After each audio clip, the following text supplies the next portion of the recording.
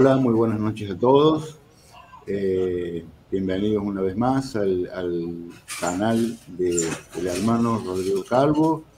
Eh, vamos a tener hoy un, interesante debate, un tema que se ha debatido muchas veces, pero eh, siempre, siempre es un tema lindo para, para debatir porque se puede profundizar cada vez más este tema, ¿no? Eh, hoy se va a debatir el tema de la Eucaristía con dos exponentes eh, muy buenos, muy preparados, eh, dos personas que se puede hacer un debate de altura realmente, con los hermanos, bueno, Rodrigo Calvo, que seguramente ya lo conocen, y seguramente también conocen al hermano Edgar Pacheco, que bueno, se van a presentar. Eh, le doy un minuto para que se presenten, hermanos. Eh, adelante, Edgar. Muchas gracias, querido Marcelo. Eh, pues como bien dicen, espero que este debate sea de altura, independientemente de las conclusiones que la gente saque, pues que se sepa que la Eucaristía es un símbolo de unión de la cristiandad en general.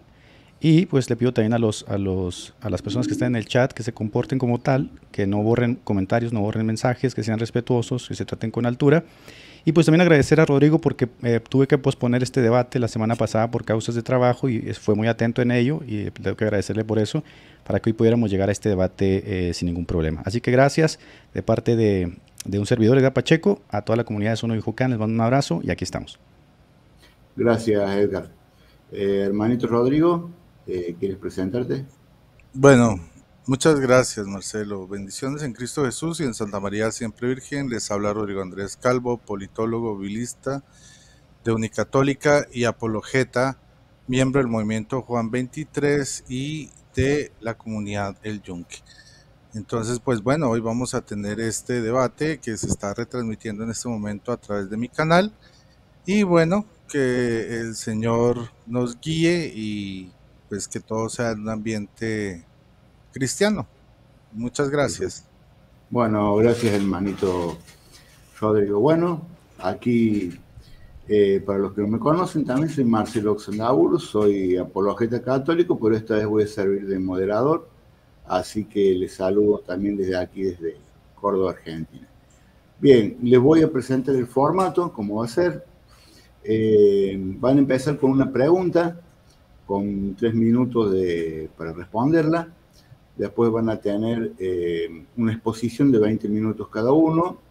Luego va a haber dos tiempos de refutación. Un primer tiempo de 10 minutos y luego un segundo tiempo de 5 minutos.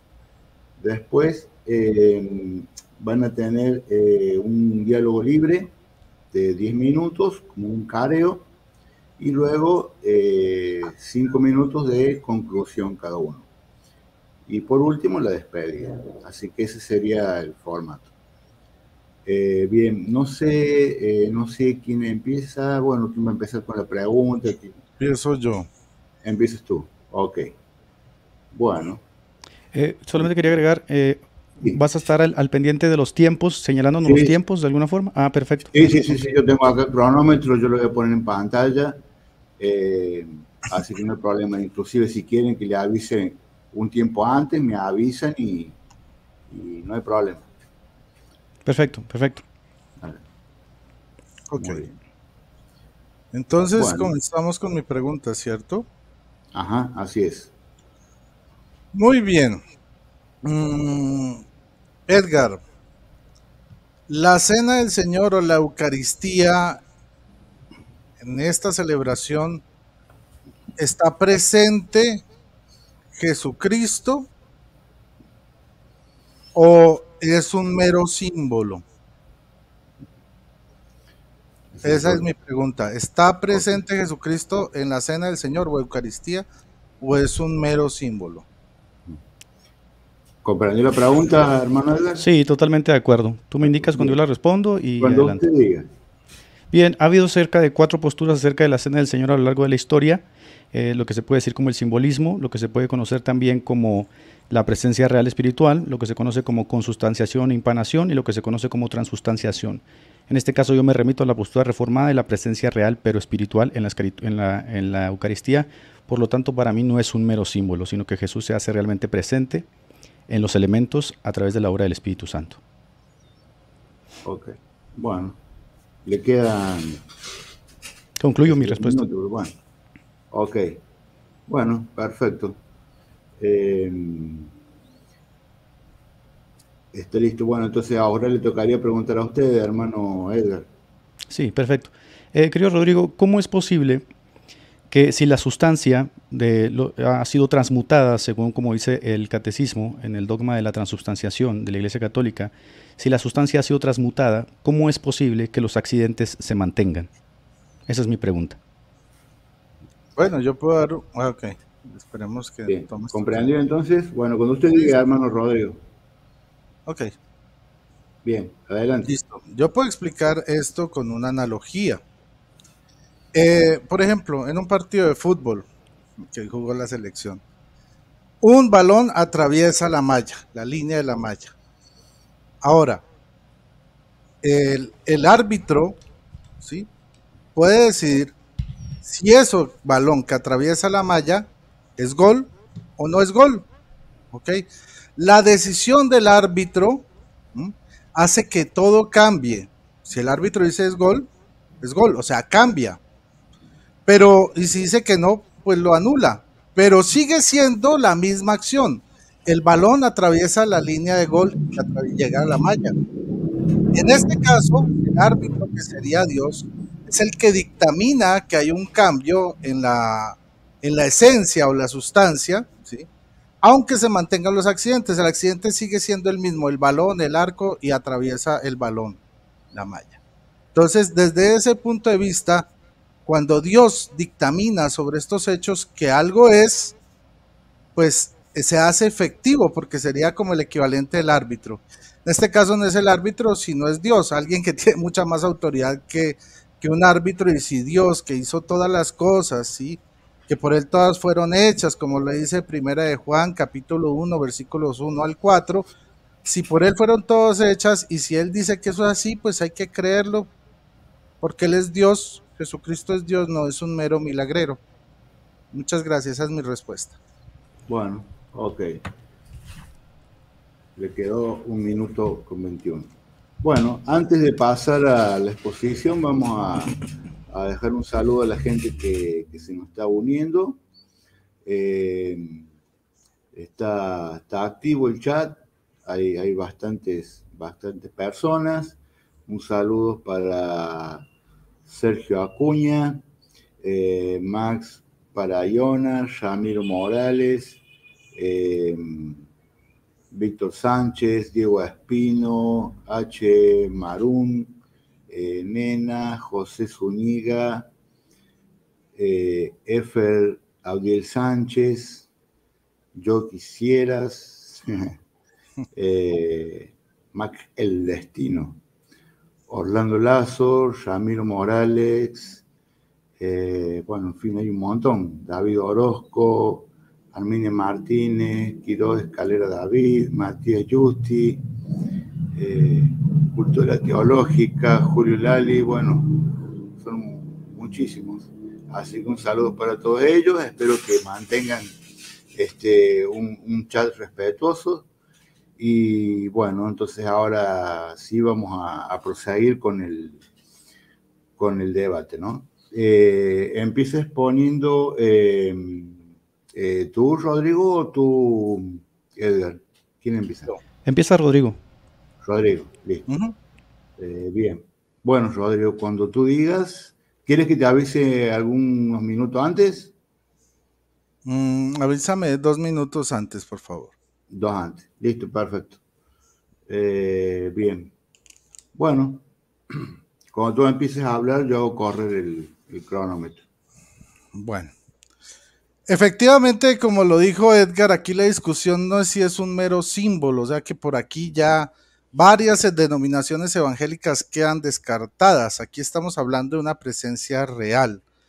Efectivamente, por ejemplo, Lutero decía que era la consubstanciación, ¿sí? que, eh, el cuerpo y la sangre de Cristo estaban presentes literalmente en el pan y en el vino. La diferencia es que la esencia de los elementos se mantienen como pan y como vino mientras son cuerpo y sangre. También está la presencia espiritual, que es la que menciona Juan Calvino. Dice que Él no creía que había un cambio de elementos, ¿sí? Pero Cristo verdaderamente viene en el pan y el vino. Ahora, eh, bueno, está la memorialista, donde pues ya lo toma como algo más simbólico, pero en el caso de, mm, de digamos, eh, el fundador del metodismo, John Wesley, dice lo siguiente, muchos estudiosos están de acuerdo en que la posición de Wesley está entre el concepto de la presencia espiritual y la posesión y la posición memorialista. Algunos de los intérpretes de la posición de Wesley lo colocan extremadamente cerca a Calvino. La diferencia entre Wesley y Calvino es que no solo experimenta la presencia de Cristo como Calvino enfatizó, sino la presencia de la completa Trinidad en el acto de la Santa Cena.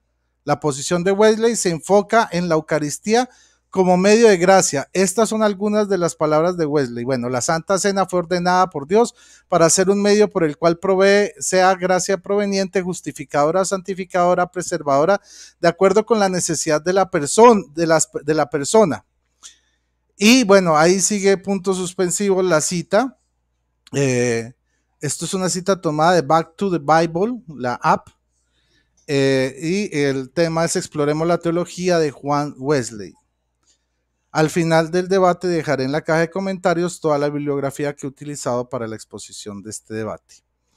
Bueno, muy bien. Ya habiendo aclarado esto, entonces vamos a la posición católica. Vamos a lo que es, primeramente, eh, bueno, la Eucaristía, como ya saben, en griego es acción de gracias. ¿sí? es la misma cena del Señor.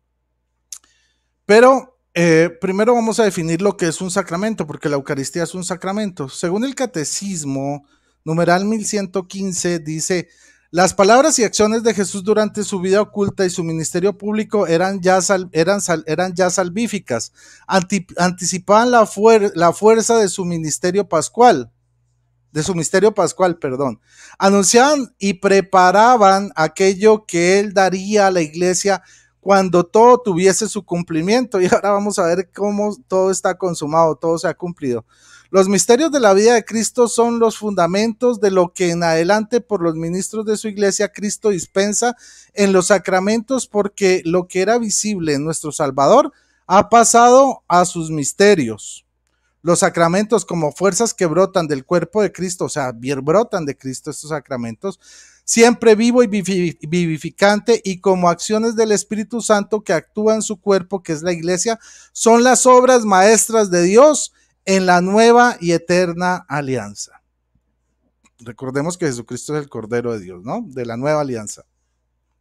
Numeral 1118. Los sacramentos de la iglesia en el doble sentido de que existen por ella y para ella, existen por la iglesia, aunque ella es sacramento de la acción de Cristo que actúa en ella gracias a la misión del Espíritu Santo. Y existen para la iglesia porque ellos son sacramentos que constituyen la iglesia. Santo Tomás de Aquino eh, manifiesta y comunica a los hombres, bueno, él dice eso, manifiesta y comunica a los hombres, sobre todo en la Eucaristía, el ministerio, el misterio de la comunión de Dios, amor uno en tres personas. Muy bien. Ahora, en numeral 130, 1131 que quiero que pongan la lupa, los sacramentos son signos eficaces de la gracia instituidos por Cristo, confiados a la iglesia, por las cuales no es dispensada la vida, eh, vida divina, nos es dispensada la vida divina, perdón. Los ritos visibles bajo los cuales los sacramentos son celebrados significan y realizan las gracias propias de cada sacramento. Dan fruto en quienes los reciben por las disposiciones requeridas. Nos quedamos entonces que los sacramentos son signos, no solo símbolos, signos, porque va más allá. O sea, representa una realidad fundamental que tiene de trasfondo. Eh, son signos visibles y eficaces de la gracia de Dios. Creo que en este punto creo podemos estar de acuerdo con, con Edgar. Ahora vamos a definir lo que es la Eucaristía.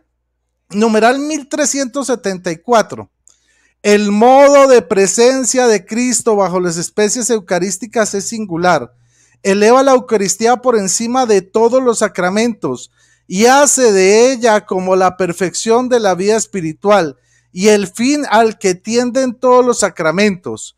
En el Santísimo Sacramento de la Eucaristía están contenidas verdadera, real y sustancialmente, verdadera, real y sustancialmente, el cuerpo, la sangre junto con el alma y la divinidad de nuestro Señor Jesucristo. Y por consiguiente, Cristo entero. Eso lo dice el Concilio de Trento, Dessinger 1651.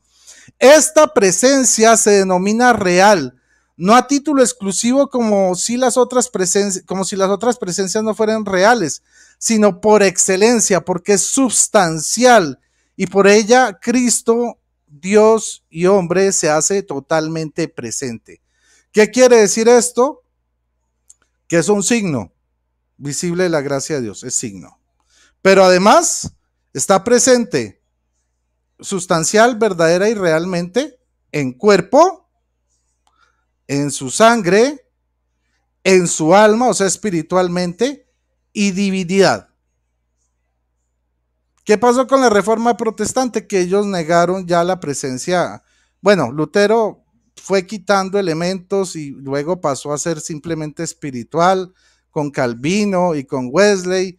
Y ya al final, en los neopentecostales o neoevangélicos, es un simple símbolo. O sea, se fue degradando el significado de la Eucaristía y la presencia real de Jesucristo en ella. Ahora, numeral 1413 dice, por la consagración se realiza la transubstanciación del pan y el vino en el cuerpo y la sangre de Cristo bajo las especies consagradas del pan y el vino. Cristo mismo, vivo y glorioso, está presente de manera verdadera, real, sustancial, con su cuerpo, su sangre, su alma y divinidad. Más que confirmado. Numeral 1413. Termino con el numeral 1409. La Eucaristía es el memorial de la Pascua de Cristo, es decir, de la obra de la salvación realizada por la vida, la muerte y la resurrección de Cristo, obra que se hace presente por la acción litúrgica, o sea que es un elemento litúrgico. Quiere decir que tiene unos pasos establecidos. Muy bien. Ahora, Tomando este elemento que es litúrgico, vamos a ir a la Didache, que es uno de los documentos más antiguos de la iglesia. Ok. Aquí, ok, dice la Didache, capítulo 3, perdón, capítulo 10, verso 2, dice, sobre la Eucaristía diréis, así daréis gracias. Primero, sobre el cáliz. Damos gracias, Padre nuestro, por la santa viña de David, tu siervo, que nos diste a conocer por medio de Jesús, tu siervo, a ti la gloria por los siglos. Luego sobre el pan partido, te damos gracias, Padre nuestro, por la vida y el conocimiento que nos diste a conocer por Jesús, tu siervo, a ti gloria por los siglos. Dice el numeral 5, mas nadie coma ni beba de vuestra Eucaristía, sino los que han sido bautizados en el nombre del Señor porque también sobre esto dijo el Señor, no deis lo santo a los perros, o sea que esto es santo. Mateo 7:6. En el numeral eh, décimo, capítulo décimo, numeral 3 dice eh, la, la, oración, tú Señor omnipotente has creado todo. Por tu nombre has, has dado comida y bebida a los hombres para refrigerio, para que te den gracias, pero, a nosotros donaste comida espiritual y bebida eterna por tu siervo.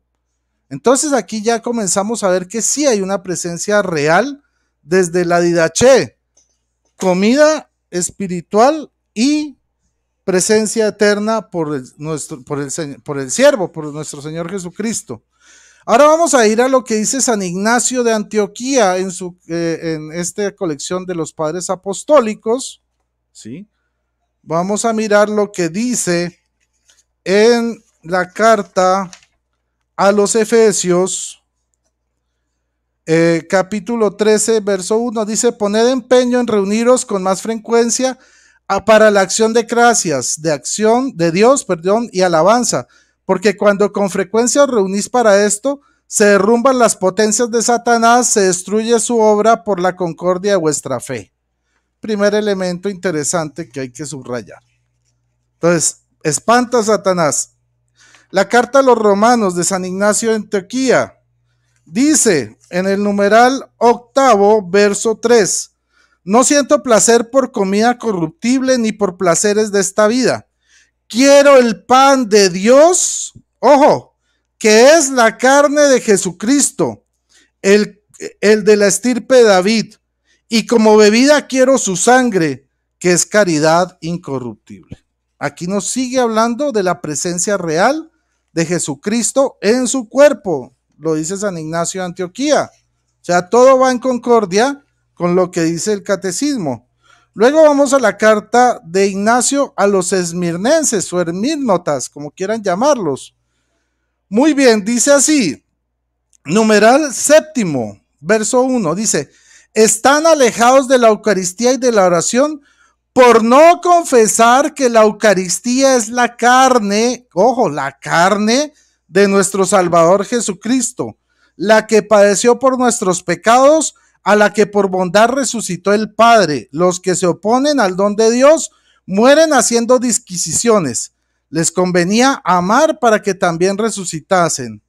Es conveniente pues apartarse de tales, aquellos que no creen en la presencia del cuerpo y la carne de nuestro Señor Jesucristo ahí, en la Eucaristía.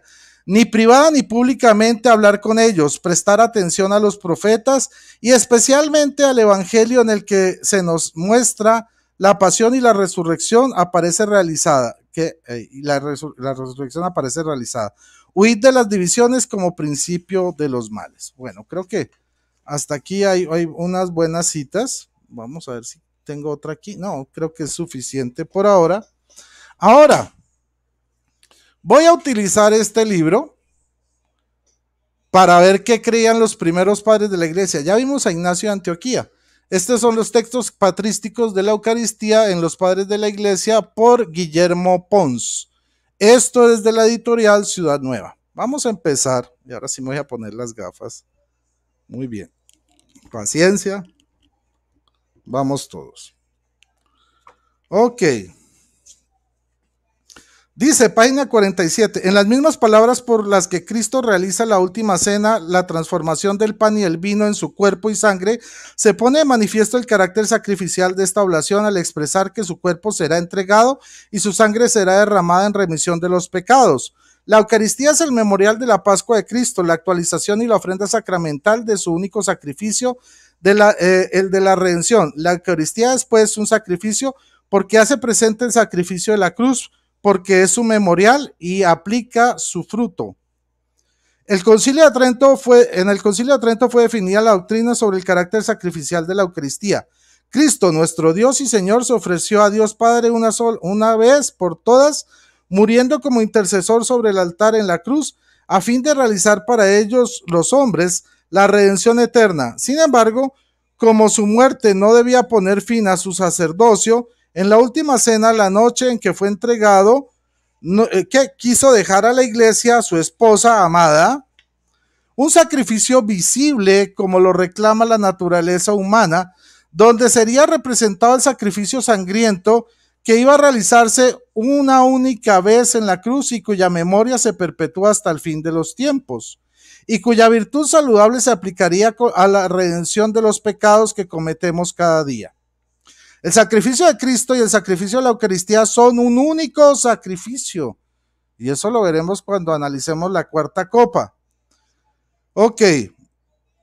De modo semejante a como la acción de Cristo en la cena anticipa los acontecimientos del trío pascual, la diferencia está solo en la manera de realizarse esta entrega salvadora, pues la víctima que es Cristo se ofrece en el altar como la cena de una manera incruenta al instituir el sacramento de la Eucaristía en la última cena, Jesús anticipa e implica el sacrificio de la cruz y la victoria de la resurrección, sacramentum caritatis, en el que en el altar se hace ahora presente la entrega de Jesús para nuestra salvación con su muerte y su resurrección. Bueno, vamos a seguir con Ireneo de León, las citas. ¿Qué creían los padres de la iglesia? Sobre el carácter sacrificial de la Eucaristía. Dice, Malaquías, uno de los doce ah, profetas menores, profetizó, así en efecto, no está, no está hacia vosotros, dice el Señor omnipotente, y no aceptaré de vuestras manos sacrificio, porque desde el levante al poniente es sacrificado mi nombre entre las gentes, y en todo lugar se ofrece incienso en mi nombre, y un sacrificio puro, pues grande es mi nombre entre las naciones, significando manifiestamente, con esto el pueblo anterior cesará de ofrecer a Dios, porque en todo lugar se ofrecerá sacrificio a él, y él será puro, y su nombre es glorificado entre las gentes. Voy a leer a San Cipriano de Cartago. En su carta 63 dice, porque hacemos mención a todos los sacrificios de su pasión, pues la pasión es el sacrificio del Señor que ofrecemos y eh, no debemos hacer otra cosa que lo que Él hizo. O sea, es un acto litúrgico. Pues dice la escritura que cuantas veces ofrecemos el cáliz en memoria del Señor y de su pasión, hacemos aquello que consta que hizo el Señor. San Efrén eh, dice también que asocia el sacrificio de Cristo con la celebración eucarística que celebra la iglesia a su esposa. Dice, quien vivió, oh, perdón, quien vio al esposo inmolado en su convite o alegro de la esposa con la muerte del esposo, él, por causa de su esposa, dio su cuerpo como manjar, y el cáliz de su sangre lo mezcló para sus amados, y llevó triunfante su cruz con ella, y con ella señaló a sus hijos a los que salvó. Bendito esposo que salvó a la esposa con su sangre. Bueno, esto es el carácter sacrificial. Ahora vamos a ver lo que es la presencia real de Cristo en la Eucaristía. Aquí lo pueden ver. Capítulo 6, página 61. Jesucristo cumple fielmente la promesa hecha a su discípulo de decir que a toda la iglesia y se ha de prolongar a través de todos los siglos. He aquí, yo estoy con vosotros todos los días hasta el fin del mundo. Esta presencia, eh, Cristo se realiza de múltiples modos en la iglesia. Ok, gracias. Vamos a empezar para darle eh, rapidez. Vamos a mirar lo que decía Ireneo de León sobre la presencia real. Llamamos Ignacio de Antioquía. Dice, la fe en la presencia de Cristo en la Eucaristía exige el creer en la divinidad del Verbo encarnado. Vamos a leer lo que dice.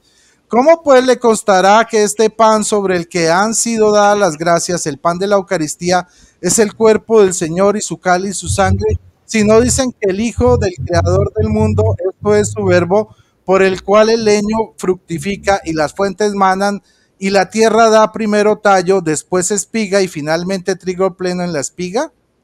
Veremos lo que dice Atanasio. Dice, verás a los levitas que llevan panes y el cáliz con el vino y lo colocan sobre la mesa. Mientras no terminan las preces e invocaciones, es pan solamente y cáliz. Pero una vez terminadas las grandes y admirables preces, entonces el pan se hace cuerpo y el cáliz sangre de nuestro Señor Jesucristo.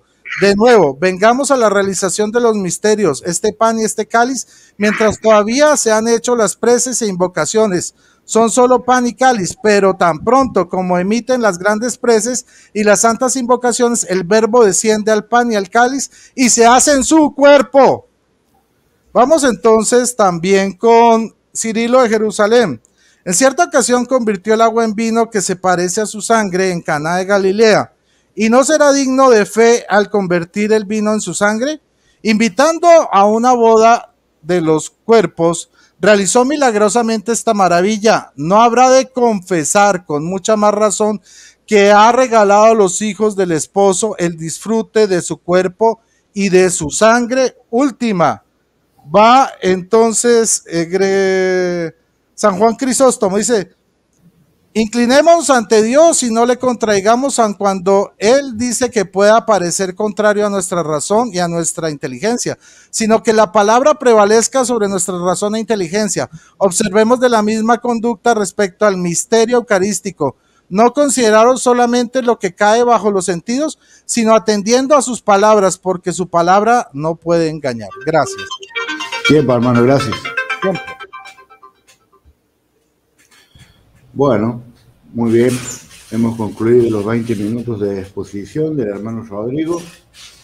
Eh, ahora vamos a pasar a los, a los 20 minutos de la exposición del hermano Edgar. Eh, cuando usted diga, Edgar, quiere que le avise algunos minutos antes. Sí, te pediría que por favor me avises cuando falten tres minutos igual. ok, Listo, listo, perfecto. Gracias. Eh, no hay ningún problema. Bueno, cuando usted comience a hablar, eh, le, le empiezo a correr el tiempo. Estoy listo, adelante. Bueno, perfecto. Bien, muchas gracias a todos los que están conectados en este debate. También gracias a Rodrigo por haber aceptado y por haber acordado el debate al moderador. Eh, vamos a tratar el tema de la Eucaristía y la transustanciación y para ahí me voy a leer varias fuentes, tanto filosóficas, patrísticas y escriturales. En el 2019, el Pew Research publicó un estudio sobre las creencias de los católicos estadounidenses. Recuerden ustedes que Estados Unidos es uno de los países más católicos del mundo respecto a la Eucaristía. Y el informe encontró que 7 de cada 10 católicos no sostienen el tema de la transustanciación porque no lo entienden y creen que el pan y el vino son símbolos de su cuerpo y, de la sangre de Cristo. Esto, esto, está tomado del libro Presencia Real de Timothy P. O'Malley, un erudito católico. Por ello, el jesuita Thomas Rees, que escribe para el National Catholic Reporter, eh, dice que esto es así porque la doctrina de la transubstanciación depende de una visión anticuada del mundo físico extraído de Aristóteles. Eso está en el mismo libro en la página 22. Es importante que tengan esto en cuenta en este debate, puesto que en su libro La Eucaristía, el erudito católico Edward Schilbeck afirma exactamente lo mismo al decir, hay una gran cantidad de evidencia que muestra que no hubo ninguno de los padres del concilio de Trento que no pensaran en el dogma en términos aristotélicos. Ellos, para salvaguardar el dogma, tuvieron que expresarlo todo en términos aristotélicos, en la, página 58 del libro Eucaristía. Así que no estamos ante una doctrina que se remita a las escrituras de forma primaria, sino que estamos ante un desarrollo teológico que se avale las categorías de Aristóteles para su formación y de las escrituras de forma secundaria. Por ejemplo, en su libro La historia secreta de la transubstanciación del erudito católico Christian Capes, él reconoce que el término técnico sustancia, ousia, no es utilizado por los traductores judíos de la, Septuaginta, de la Septuaginta o de la Biblia griega, ¿no? y en los lugares en donde llega a encontrarse dicho término no se alude a una transubstanciación como se entiende el dogma de la Eucaristía. Así que me gustaría en esta primera ponencia que el señor Rodrigo Calvo me muestre un ejemplo de lo que es una transubstanciación en las Escrituras. Ahora bien, como introducción, debo decir que el Concilio de Trento resume la fe católica en cuanto a la Eucaristía diciendo, por la consagración del pan y del vino se opera el cambio de toda la sustancia del pan en toda la sustancia del cuerpo de Cristo nuestro Señor y de toda la sustancia del vino en la sustancia de su sangre. La Iglesia Católica ha llamado justa y apropiadamente este cambio transustanciación, Dessenger 1642. Así que al respecto de este pensamiento quiero ofrecer una defensa basada en tres argumentos, filosóficos, escriturales y patrísticos. Y voy a mostrar con ello que tal idea de la transubstanciación incurre en una desarmonía ontológica. Segundo, voy a probar que no hubo consenso en los padres en cuanto a este tema. Y tercero, voy a mostrar que una lectura hiperrealista de los textos bíblicos supone problemas insalvables para el católico. Así que permítame iniciar con el argumento filosófico. Como acabamos de ver, la doctrina de la transubstanciación se basa en la distinción aristotélica entre sustancia accidentes. Es decir, desde el concilio de Constanza, donde se condenó a Wycliffe, la iglesia romana no puede negar que la base de su pensamiento es aristotélico. El mismo Edward Schelbeck, en el libro Eucaristía, que es un edito católico, afirma que, en la página 58, afirma que los padres de Trento, aunque comprendían la diferencia entre filosofía y fe, reflexionaron toda esa fe en el marco del pensamiento de Aristóteles sobre sustancia y accidentes. Es importante que los que escuchan esto sepan, lo sepan bien, porque estamos ante una mala relectura de Aristóteles, porque Aristóteles estaba siendo reinterpretado convenientemente, pues Aristóteles jamás hubiese permitido esa innovación de creer que sustancia y accidentes pudieran existir el uno sin el otro, o en su defecto que la sustancia pudiese ser transmutada mientras los accidentes permanecen. Esto es algo que Wycliffe, que obviamente era eh, catedrático de Oxford y conocía la doctrina aristotélica, reclamaba porque la conocía. Así que la segunda pregunta que espero que el señor Rodrigo Calvo me responda es ¿cómo puede algo tener una sustancia transmutada manteniendo sus accidentes siguiendo el pensamiento de Aristóteles de los que se valieron eh, los padres de Trento? Por ejemplo, si consideramos que la sustancia del pan se transforma en la sustancia del cuerpo de Cristo, que es lo que afirman los católicos, ¿cómo es posible que el pan continúe manteniendo sus accidentes? ¿Cómo, él puede, cómo puede el pan retener su, su apariencia de pan, su sabor, su color característico, si ha experimentado un cambio tan fundamental en su sustancia? Recuerden que el católico ya no cree que eso es pan, él cree que es carne, ¿no? La idea de que los accidentes del pan no cambian a pesar de que su sustancia se transforma, eso plantea una tensión con nuestra comprensión básica de cómo funcionan las propiedades físicas. No por nada los, los católicos de Estados Unidos no sostienen esto, no lo pueden creer porque no lo entienden. Y esto no supone un problema para el mundo protestante porque aunque nosotros eh, confesamos la presencia real de Cristo en la, Eucaristía, no racionalizamos el misterio. Y aunque nosotros podemos usar términos como presencia real y como sacrificio, estos términos están circunscritos a lo que la propia Biblia enseña, no Aristóteles. Según la comprensión aristotélica de la realidad, los accidentes dependen de la sustancia en la que se manifiestan. Por lo tanto, parece muy contradictorio afirmar que los accidentes del pan pueden mantenerse sin una sustancia subyacente que los cohesione. Así que cuando nos dicen que el pan que el católico come no es pan porque ha sido transmutado, pero mantiene sus accidentes, eso demuestra una incoherencia ontológica. Y más allá de ello, no es coherente con el propio desarrollo de Aristóteles, quien creía que sustancia y accidentes no pueden existir uno independiente de otro. ¿no? De hecho, eh, estamos tan acostumbrados a refutar este tipo de cosas que ningún cristiano serio, que incluso Rodrigo creo, aceptaría que alguien pueda ser transexual, transespecie, transgénero, transhumano, puesto que aunque los accidentes cambien en las personas, no cambia su sustancia. Es decir, aunque cambie su color de pelo, su bigote, su color de piel, la sustancia se mantiene, por lo que no hay una transmutación real. Así que si no nos es lícito, siguiendo la razón, llamarle transexual a alguien, entendiendo que su sustancia no puede ser transmutada, sin que sus accidentes se vean afectados, ¿por qué llamarle transustanciación al auto, acto eucarístico? De hecho, ni los ortodoxos se atreven a llamarle como tal.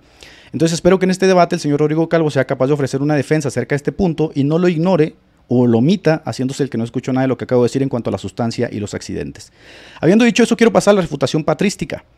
Eh, ustedes acaban de darse cuenta de que el señor Rodrigo Calvo acaba de citar algunos pares de la iglesia y lo que acaba de decir es cierto, ¿no? Algo que suelen argumentar los apologistas católicos es que hubo un consenso unánime en los padres en cuanto a la transubstanciación y que fue hasta el siglo IX y hasta el siglo XI que los herejes quisieron distorsionar dicha visión con Rátramus, con Berengario y torso a la cabeza. Lo que ellos no te dicen es que las disputas teológicas que se libraron desde el siglo IX hasta el siglo XI sobre la Eucaristía se libraron justamente porque no había un consenso en los padres. ¿Y qué creen? Que Rodrigo solamente citó a los padres que hablan en términos muy realistas, pero omitió citar a los padres que hablan en términos metafóricos, simbólicos o espirituales. Y es que la visión realista y espiritual, la visión realista y la visión espiritual se, se superpusieron una y otra a lo largo de toda la Edad Media a través de los siglos. De hecho, la fraseología de los padres es tan variable que en algunos momentos hablan en términos muy realistas y en otros momentos hablan en términos muy espirituales o metafóricos. De hecho, en su libro Historia de las Doctrinas Cristianas, en la página 1878, Philip Schaff, que es un gran historiador, dice lo siguiente: La doctrina del sacramento de lo cristiano fue objeto de controversia teológica hasta el siglo IX. Es decir, hasta el siglo IX no había un supuesto consenso en los padres. Hasta entonces hubo varias, formas de concebirla, como realmente presente con los elementos, con sustanciación, impanación, bajo la apariencia y los de los elementos cambiados, transubstanciación o dinámica y espiritualmente, que es la que yo sostengo. Así que nosotros no negamos, ojo con esto, nosotros no negamos que algunos padres hayan hablado en términos muy realistas. Lo que objetamos es que como de costumbre Roma y los apologistas católicos seleccionan a ciertos padres y pensadores y hacen a un lado a estos otros padres o pensadores que no concuerdan con la visión que ellos han decidido defender, anatemizando a quienes no siguen dicha selección de los padres que hicieron. De hecho, se podrá percatar que Rodrigo usó el pensamiento de los padres que apoyan su postura, pero omitió a los otros padres y ni siquiera los mencionó las primeras disputas se van a dar en el siglo IX cuando el monje Pascasio, valiéndose de los padres, desarrolló su doctrina y otro monje, valiéndose de los padres, Radramus, lo refutó. Lo mismo va a suceder en el siglo XI con Berengario de Trus, que valiéndose de los padres, asumió una postura espiritual, y Lafnak, valiéndose de los padres, una postura literal.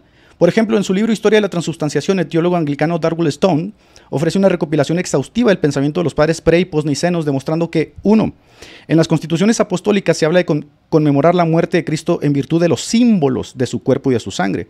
Dos, demuestra que Eusebio de Cesarea se refería comúnmente a los elementos como símbolos. Clemente, que eh, puede usar varias fraseologías, dice, el Señor expresó por medio de símbolos en el Evangelio de Juan el carácter bebible de la fe. La escritura nombró al vino como el símbolo místico de la santa sangre. Esto viene en la historia de la transustanciación, la página 345 a la 348. Macario de Egipto dice, los que participan del, pan comen espiritualmente la carne del Señor. Cirilo de Jerusalén dice, en la figura del pan se te da el cuerpo y en la figura del vino se te da la sangre. Teodoreto dice eh, que los elementos son símbolos del cuerpo y la sangre de Jesús. En el libro de los, sacramentos que se atribuye a Ambrosio, él habla del pan y el vino como figuras del cuerpo y de la sangre de Jesús. Ambrosiarter afirma de manera similar que recibimos el cáliz místico como un tipo de la sangre divina. Orígenes dice, por tanto, él mismo fue herido cuya sangre bebemos, esto es, recibimos la palabra de su enseñanza. Orígenes dice también, porque Dios, el verbo, no llamó su cuerpo a ese pan visible que tenía en sus manos, sino a la palabra en cuyo misterio ese pan había de ser partido. Tampoco llamó a esa bebida visible su sangre, sino la palabra en cuyo misterio esa bebida había de ser derramada. Pero el más representativo de todos ellos va a ser San Agustín. Por ejemplo, en su comentario del Salmo 3, San Agustín llama a los elementos figuras del cuerpo de Cristo. En su doctrina cristiana, en el capítulo 6, en el numeral 24, él afirma que los textos que hablan del cuerpo y la sangre de Jesús deben interpretarse de forma figurativa. De hecho, en este apartado, San Agustín ofrece una clase de hermenéutica, diciendo que ciertos pasajes no pueden interpretarse literalmente, y el pasaje que usa irónicamente como ejemplo es el pasaje donde Jesús dice, si no comieres la carne no tendráis vida, argumentando que ese texto no puede leerse de forma literal. En su tratado sobre el Evangelio de Juan, en el capítulo 27, dice que los judíos entendieron el comer la carne como literal cuando Jesús hablaba en términos metafóricos. En su tratado sobre el Evangelio de Juan, en el capítulo 40, nos dice que la forma en que los judíos bebieron la sangre de Jesús fue creyendo en él. En su tratado sobre el Evangelio de Juan, en el capítulo 26, San Agustín dice que no se trata de aplastar con los dientes el sacramento, lo cual de nada vale, sino recibirlo en el corazón. De hecho, esto mismo va a decir Lutero en su cautividad babilónica siguiendo a Agustín. De hecho, Agustín, siguiendo el pensamiento de Pablo de que si a Jesús conocimos según la carne, ya no lo conocemos más así, dice, cuando Cristo dijo, no me tendréis siempre con vosotros, estaba hablando de la presencia de su cuerpo en el tratado sobre Juan. De hecho, tan normal fue en los primeros siglos que esta, de esta forma de acercarse al texto de la Eucaristía fuese diversa, que el mismo Papa Gelasio I dice, no obstante, ni la sustancia ni la naturaleza del pan dejan de ser, y con toda seguridad la imagen y similitud del cuerpo y la sangre de Cristo son celebrados mediante la representación de estos misterios. Igualmente lo va a decir el Papa Virgilio, la carne de Cristo cuando estaba en la tierra no estaba en el cielo, y ahora porque está en el cielo no está en la tierra, en contrautiques. De hecho, tan cierto es que no había consenso en tantos temas, incluida la Eucaristía, que en el siglo XII se compiló el llamado decreto graciano, que intentaba armonizar todas las posturas que diferían en la Edad Media. Lo mismo hizo Abelardo, Pedro Lombardo, perdón. Así que tenemos que afirmar varias cosas. Lo primero, no hubo consenso en los padres. Dos, que aunque algunos sostenían una visión realista, que yo también la sostengo, no racionalizaron el misterio. Tres, que las disputas teológicas libradas en el siglo IX se libraron a razón de la falta de consenso. Cuatro, que el concepto de transustanciación incurre en una desarmonía ontológica, que espero que Rodrigo no lo omita. Y cinco, que mientras los católicos, eh, cuando dicen que esto siempre fue creído como ellos lo creen hoy, es falso. Así que lo que los apologistas católicos hacen, como de costumbre, es seleccionar arbitrariamente a ciertos padres y pensadores para asumir una postura y desechan a otros padres.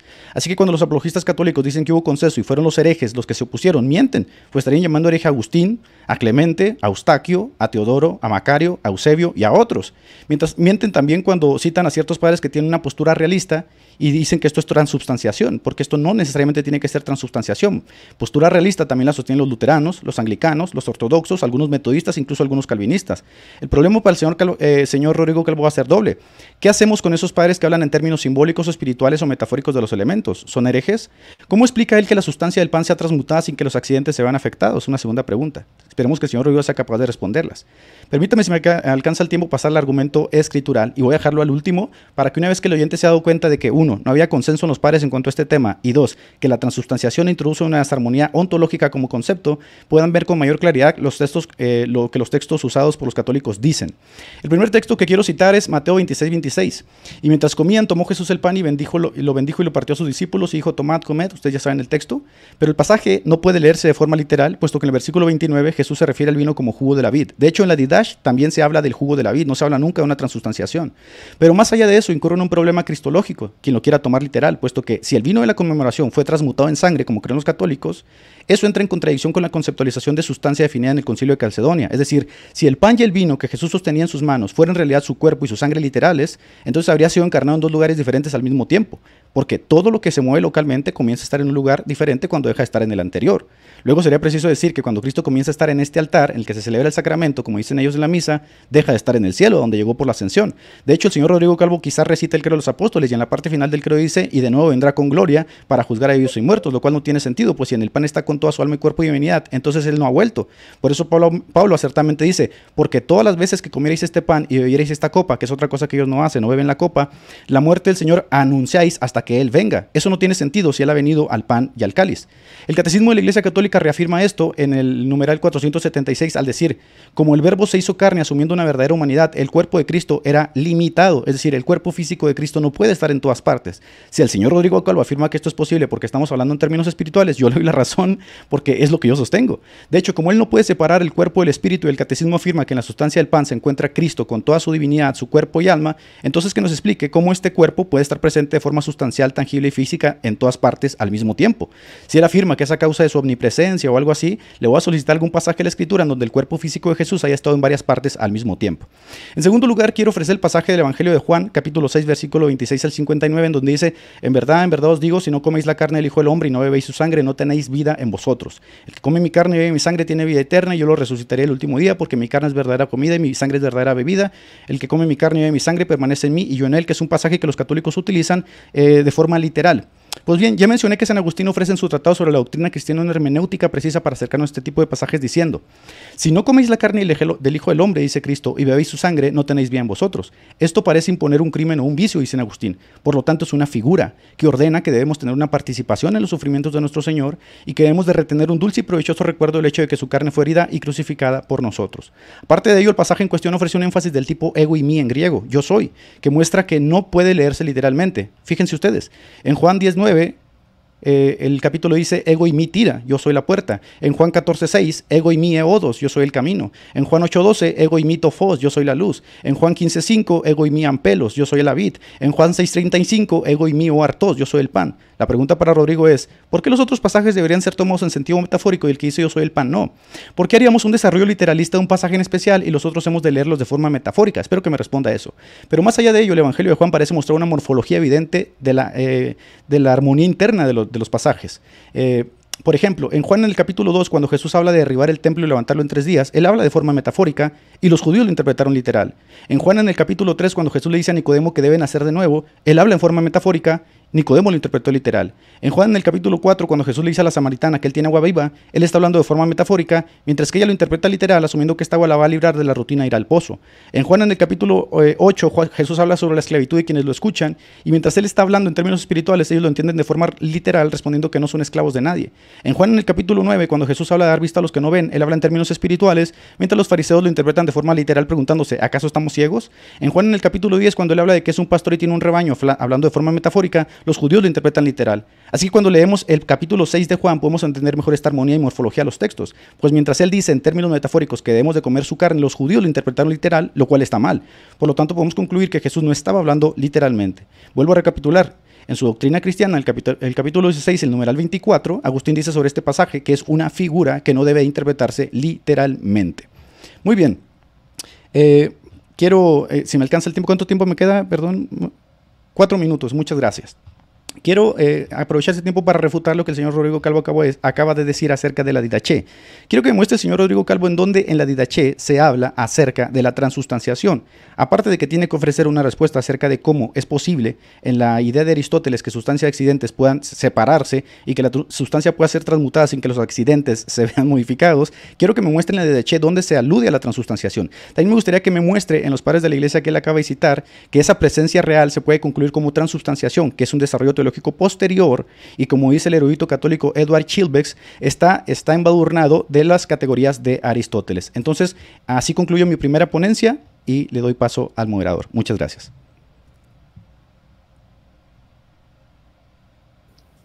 Gracias, Edgar. Te quedaron tres minutos.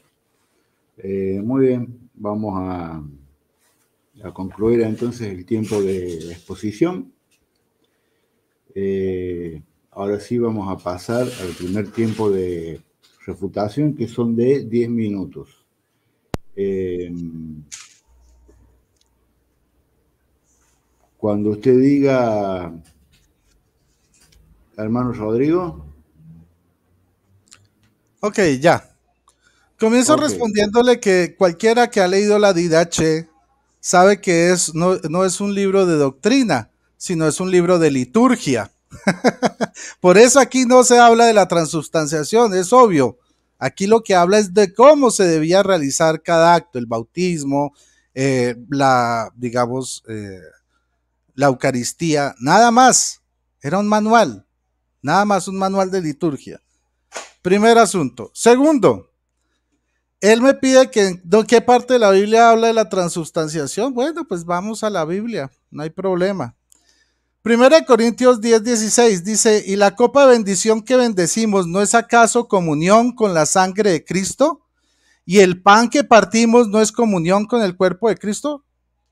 Y dice el 17, ya que hay un solo pan, todos nosotros, aunque somos muchos, formamos un solo cuerpo porque participamos de ese único pan. O sea que al comer el cuerpo de Cristo, nos volvemos perfectamente uno. Ahora él me pidió que le mostrara en qué parte decía eh, Ignacio de Antioquía, ¿sí? Que había una transubstanciación, que había algo real. Entonces, pues con mucho gusto aquí vamos a mirar lo que dice Ignacio de Antioquía en su carta a los esmirnenses. Dice capítulo 7, verso 1, están alejados de la Eucaristía y de la oración por no confesar que la Eucaristía es carne de nuestro Señor Jesucristo, la que padeció por nuestros pecados y la que a la bondad que a la que por bondad resucitó el Padre. Los que se oponen al don de Dios mueren haciendo disquisiciones. Les convenía amar para que también resucitasen. Ignacio Antioquía, respondido ahí también. Eh, por otro lado, si ustedes escucharon, él leyó que, algunos padres de la iglesia se contradecían porque unos decían que era signo, otros decían que era espiritual, otros que era físico. Pero creo que él no pone atención a las exposiciones. Y les voy a explicar por qué. Porque yo le leí en la definición de Eucaristía, numeral 1374 y 1413, que Jesús dice, lo, dice lo siguiente. Cristo mismo, vivo y glorioso, está presente de manera verdadera, real y sustancial. ¿Con qué? Con su cuerpo, su sangre, su alma y divinidad. O sea que si me dice que algunos dicen que es signo, que otros dicen que es cuerpo, que otros dicen que es espíritu, todos tienen la razón, porque la iglesia cree que Jesucristo está verdaderamente con su cuerpo, su sangre, su alma y su divinidad. Ponga atención a los numerales que le di, señor Pacheco. Por otro lado, quiero felicitarlo porque leyó muy bien el artículo de Christian Truth, ¿sí? Articles Eucharist. La Eucaristía eh, escrito por William Webster y de ahí tomó muchas de sus citas. Y para eso, entonces aquí tengo impresas las citas que nombró que muchas están cortadas, están adulteradas y no están conforme a los textos. Usted debió haber verificado las fuentes antes de tomar cosas de una página de internet. Por ejemplo, él menciona en el sermón 131 de San Agustín, que niega la presencia real de Jesucristo. Yo, usted, yo les voy a dejar la bibliografía, está en www.agustinus.it españolo, digo, backslash españolo, backslash discorsi, backslash discorsi, eh, raya al piso 167, raya al piso texto.htm, el sermón 131 de San Agustín. Lo reto a que nos muestre públicamente dónde está esa afirmación que él acaba de decir de San Agustín. No existe. Son mentiras del señor William Webster. Ah, por aquí está la, eh, la página donde él sacó esas citas. Por otro lado, bueno, él citó también a Alexander Roberts y James Donaldson, Tertuliano contra Marción, en este libro, Anthony Fathers, volumen 2. ¿sí? Eso está ahí, donde lo tomó. Pues resulta que esto de Tertuliano contra Marción no existe ni en el tomo 1 ni en el tomo 2. De hecho, aquí está la tabla de contenidos. ¿Dónde está? ¿Dónde dice? Y lo reto a que me muestre. ¿Dónde dice Tertuliano contra, eh, contra Marción en estos textos? No existe. Mírenlo, mírenlo, no existe. Por ningún lado. Ni en el libro 1 ni en el libro 2. Aunque se supone que está citado del libro 2, ¿no? Mire. Por otro lado, tenemos Ok. Vamos a mirar otra pruebita por aquí. Vamos a mirarla con cariño que se me hizo. Oh, ok, ok, ok. Él citó a Peter Schaff, Philip Schaff, este, ¿no? También tomado del mismo, del mismo artículo de internet. Resulta que él dice está en inglés, pero pues yo me tomé la libertad de traducirlo. Miren lo que dice realmente el texto. Pongan atención. La doctrina del sacramento de la Eucaristía no fue objeto de controversia teológica y acción eclesiástica hasta la época de Pascasius Radbert en el siglo IX, mientras que desde entonces, fiesta del amor moribundo del Salvador, eh, ha sido la causa inocente de las disputas más amargas, especialmente en la época de la Reforma, entre papistas y protestantes, entre luteranos, zwinglianos y calvinistas. Por lo tanto, la doctrina de la Iglesia antigua sobre este punto carece de la claridad y precisión que el dogma de Nicea de la Trinidad, la Cristología de Calcedonia y la antropología agustiniana y la soteriología adquiridas de las controversias que las precedieron en la doctrina del bautismo también tenemos mucho más derecho a hablar del consenso patrum en, eh, en el de la doctrina de la Santa Cena. En general, este periodo, siguiendo a los representantes de la teoría mística, en el anterior uno ya estaba muy fuerte, inclinado hacia la doctrina de la transubstanciación y hacia el sacrificio griego y romano de la misa, que son inseparables en cuanto exige un sacrificio real. Esto es lo que realmente dicen las citas de Peter Schaff, de Philip Schaff, perdón. También tenemos historia de las doctrinas, también él la citó, ¿cierto? Bueno, aquí tenemos a Raymond Seyburg, página 34 y 35. Las controversias sobre la cena del Señor. Les voy a leer lo que dice, obviamente también lo traduje del inglés al español. Perdonan, pero el traductor tampoco es que sea una belleza, pero se hace lo que se puede. Dice, la, ah, perdón, la iglesia antigua no produjo ningún dogma de la cena del Señor. Dos métodos de presentar el, tema se encuentran lado a lado sin ningún intento de discriminación.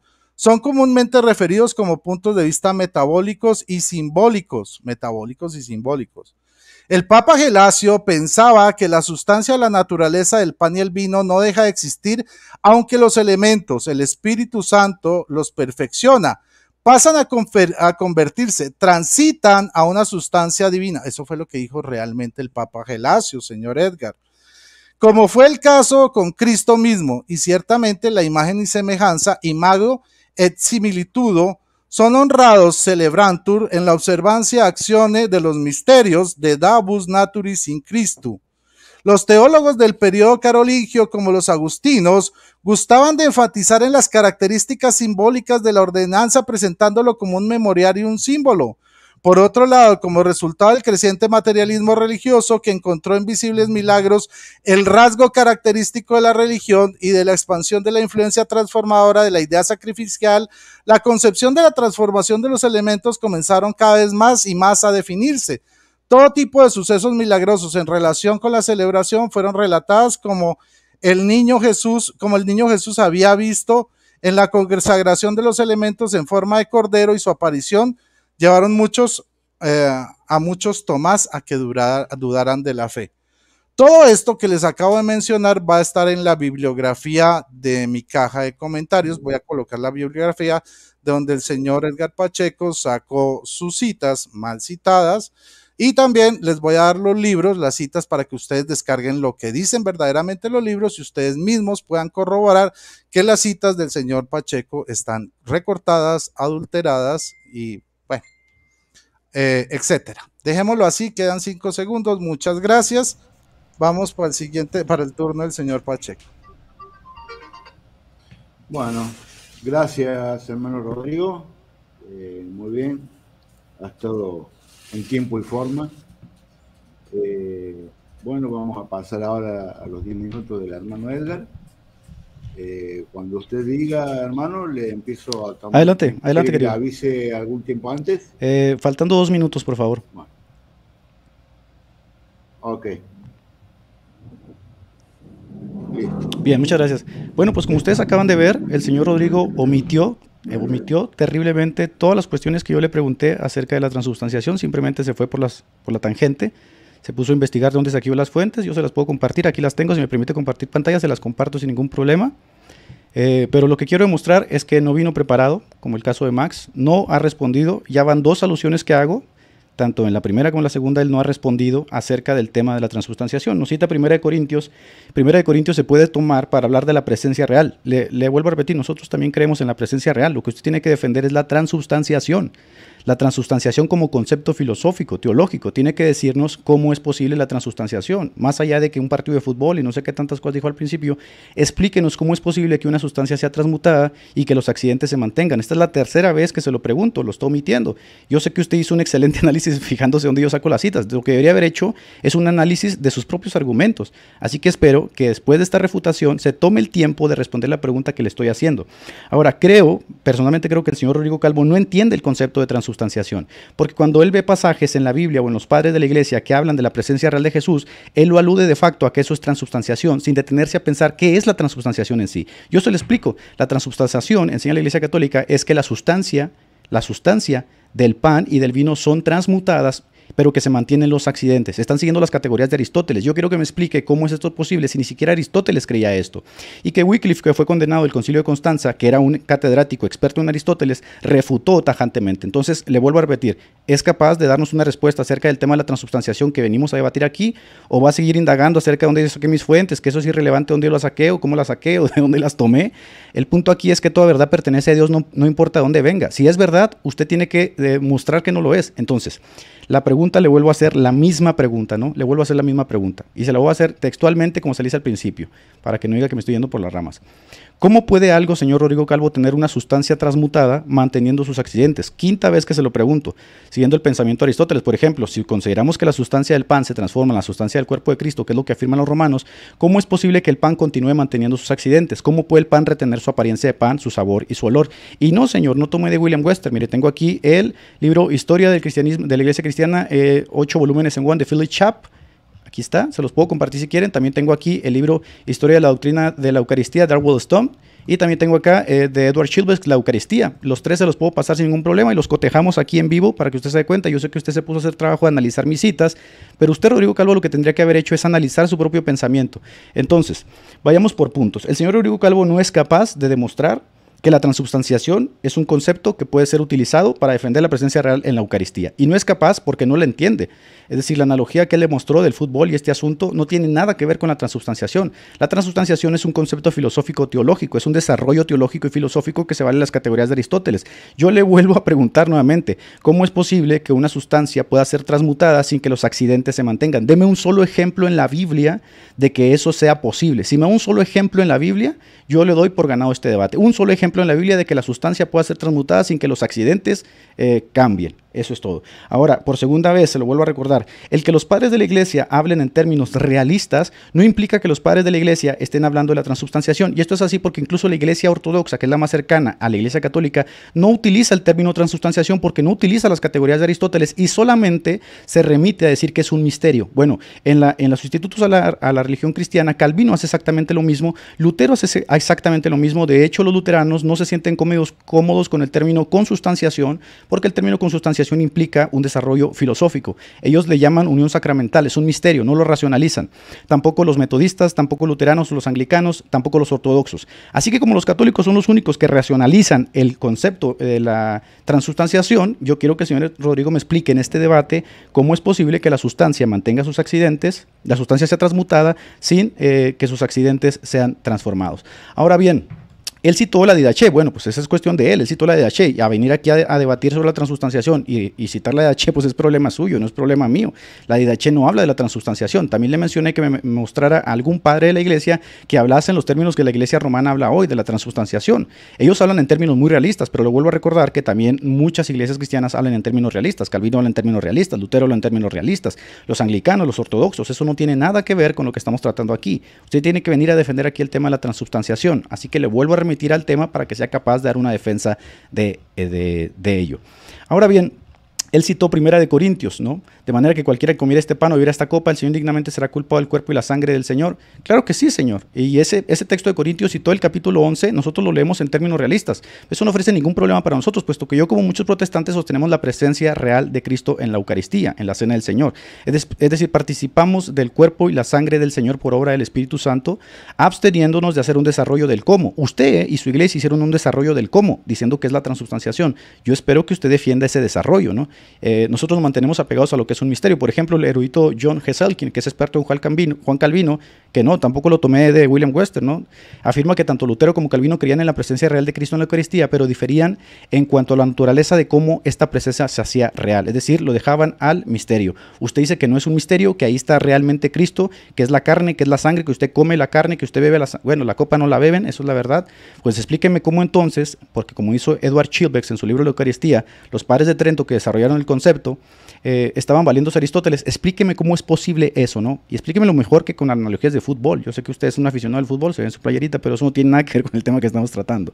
En palabras de Juan Calvino respecto a la comentaria, el comentario de la carta a los Corintios capítulo 11 dice, la manera en que Él se imparte a sí mismo a nosotros es por el poder secreto del Espíritu Santo, la neumatología, un poder que es capaz de mantener unidas cosas que están separadas por la distancia. La postura, y la, postura reformada y luterana, aunque pueden en ciertos puntos, concuerdan en uno. El misterio no puede ser racionalizado, por lo que al acercarnos al tema de la Eucaristía debemos hablar hasta donde la Biblia nos permite hablar y callar en donde se nos pide callar. El punto aquí es que ustedes han decidido utilizar las categorías de Aristóteles para eh, conceptualizar el asunto de la Eucaristía, decir que es la transubstanciación. Vuelvo a repetir, espero que no ignore este punto.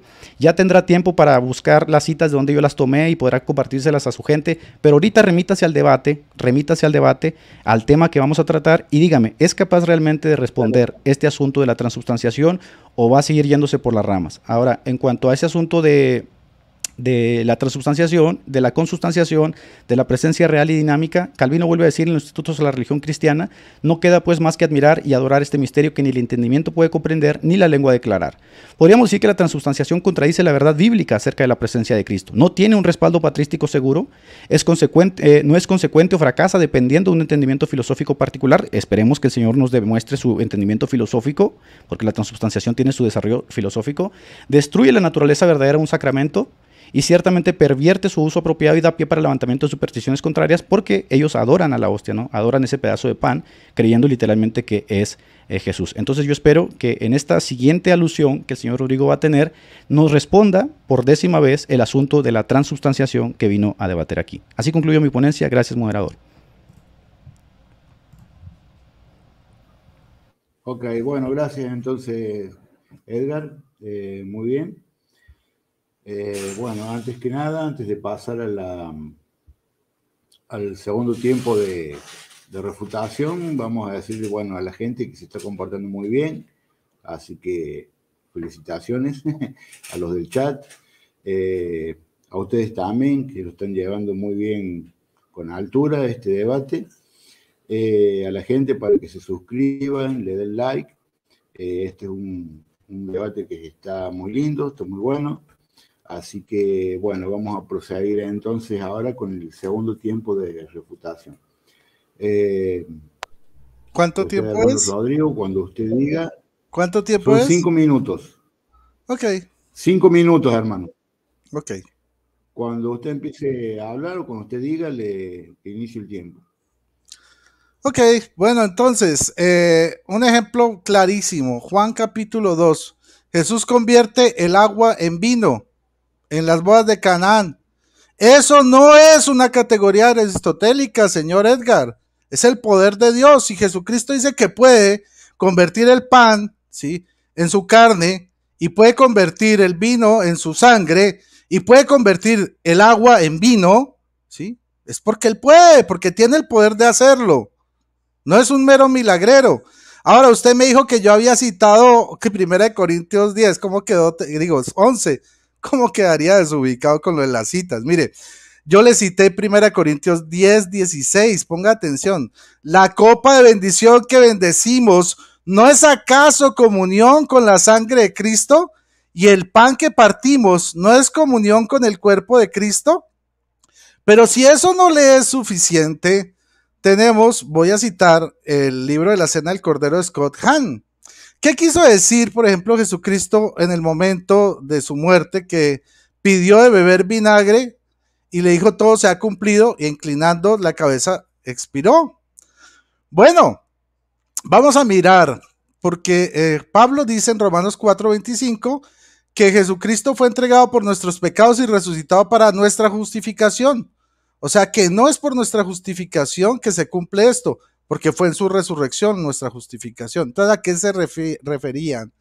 Simplemente, eh, dice Marcos 14.1, faltaban dos días para la fiesta de Pascua de los panes ácimos, los sumos sacerdotes y los escribas buscaban la manera de arrestar a Jesús con astucia para matarle. Esta es ya la última cena. Ahora, resulta que él envió una señal poderosa en Mateo 14.12 al 15 y les dijo cómo iban a conseguir el lugar donde iban a celebrar la Pascua. Dice eh, que envió a sus discípulos diciendo, vayan a la ciudad y allá encontrarán un hombre que lleva un cántaro de agua, síganlo. Y díganle al dueño de la casa donde entre, maestro, ¿dónde está la sala en la que voy a comer el cordero pascual con mis discípulos. Él les mostrará el, el piso alto, el segundo piso. O sea, él lo dijo con poder y así sucedió. No dude del poder de, de Dios. Ahora, el acto de la Pascua es un acto litúrgico y había en la Pascua cuatro copas que se tenían que tomar. Resulta que Jesucristo nos narra la tercera copa cuando Él la reparte. Pero la cuarta copa dice que no la beberá hasta que esté en el reino de los cielos, o sea, haya cumplido o haya llegado al reino de los cielos. Muy bien, gracias. ¿Cuándo se cumple eso? Voy a saltar muchísimo porque tengo, pues, resumir un libro. Vamos a, decir, a ver, por acá. A ver. Recuerden que, Juan en, en, el capítulo 1, versículo 29 y 36 dice que Él es el Cordero de Dios. Ahora, el Cordero en el judaísmo debía sacrificarse y debía comerse después de la cuarta copa. Pero ¿qué dijo Jesucristo? No beberé más de esta copa. ¿Qué pasó con la cuarta copa? Bueno, vamos a mirar qué pasó. Dice Juan 12, 23, les ha llegado, ha llegado la hora en que el Hijo del Hombre va a ser glorificado. El 32, y cuando yo sea levantado en lo alto sobre la tierra, traeré todos hacia mí. Jesús decía esto para indicar cómo iba a morir, o sea, cómo se iba a presentar el reino. Ahora, en el huerto, ya, gracias. Marcos 14, del 32 al 36. ¿Qué le dice Jesús al Padre? Si puedes, si es tu voluntad, aparta, o sea, aparta de mí este cáliz. ¿Cuál cáliz si él no había tomado la cuarta copa? Precisamente esa que iba a beber en la cruz. En Marcos 32 le ofrecieron vino con mirra, que era una anestesia, una anestesia para que no sufriera, y él no lo aceptó. Ahora, la cuarta copa, les dice Marcos 14, 25, les aseguro que no beberé más del fruto de la vida hasta el que beba el vino en el nuevo reino de Dios. Ahora, ¿cuál es la cuarta copa? La ira de Dios. Isaías 51, 17 y Jeremías 25, 15 dicen que la, la copa es la ira de Dios. Bueno, no me voy a detener porque me dan 29 segundos. Y dice, en Juan 19, 18, que después, sabiendo que todo ya se había cumplido y para que la escritura se cumpliera hasta el final, Jesús dijo, tengo sed. Allá había un recipiente lleno de vinagre, le empaparon una esponja y lo ataron a la rama de hisopo que acercaban a la boca. Esto era en la Pascua el hisopo con el que se regaba la sangre de los dinteles para que el ángel de la muerte no tocara a los primogénitos de Israel. Ahora, ¿qué pasó? Que después de la, la cena de, del cordero, de la Pascua, después de la cuarta copa, se comía realmente el cordero, no espiritualmente, en cuerpo y carne. Gracias. Gracias, hermano. Bueno, eh, muy bien. Ha concluido su segundo tiempo de refutación. El hermano Rodrigo, eh, usted, hermano Edgar, usted dirá cuando esté listo. Estoy listo, querido, adelante. Ok.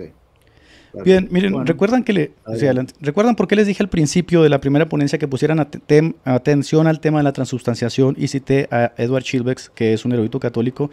Él dijo, hay una gran cantidad de evidencia que muestra que no hubo ninguno de los pares del Concilio de Trento que no pensaran en el dogma en términos aristotélicos. Para salvaguardar el dogma tuvieron que expresarlo todo en términos aristotélicos y lo puse al principio porque sabía que el señor Eiro Calvo no sabe eh, defender el dogma de la transubstanciación. Le he pedido que nos dé una respuesta acerca del dogma y él ha sacado el milagro de las bodas de Caná. Y yo pregunto, ¿el milagro de las bodas de Caná es un ejemplo de transubstanciación? La respuesta es no, porque según el enfoque filosófico tradicional, ahí no está ocurriendo un cambio de sustancia. Se lo voy a repetir otra vez más.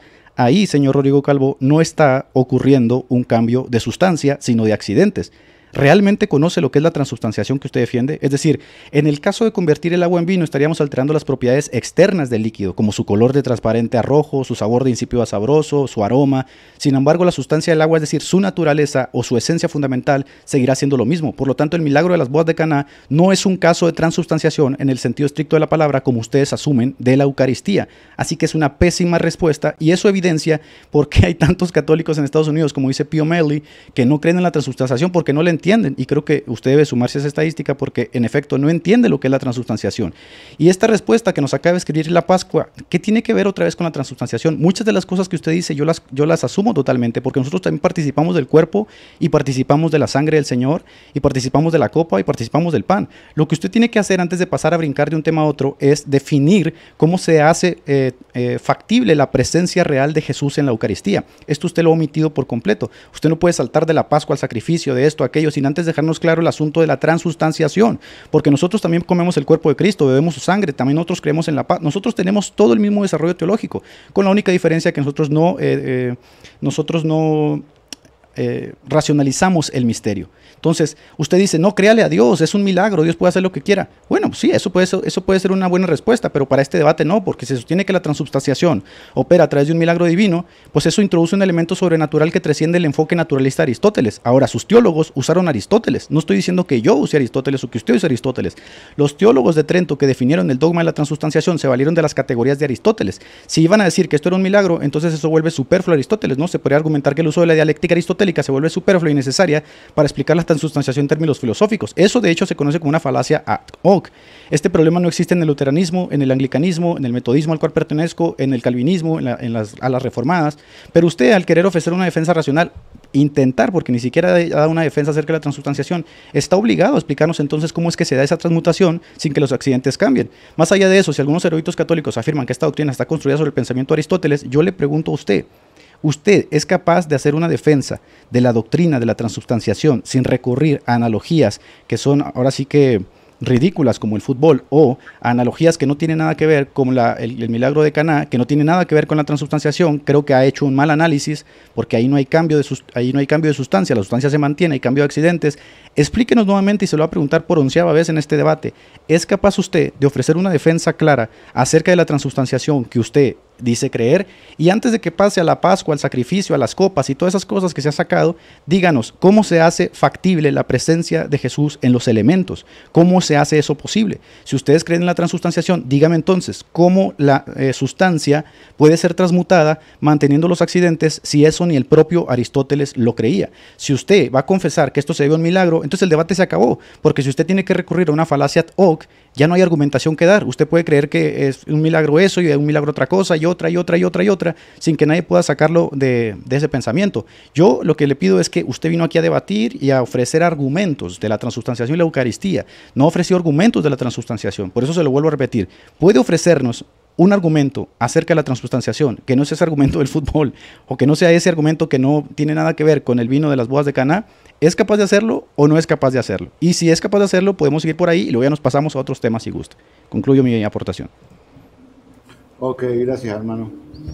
Muchas gracias. Eh, bueno, hemos concluido el tiempo de, la refutación y ahora eh, vamos a seguir con, bueno, esta puede ser la parte más linda, el careo, ¿no?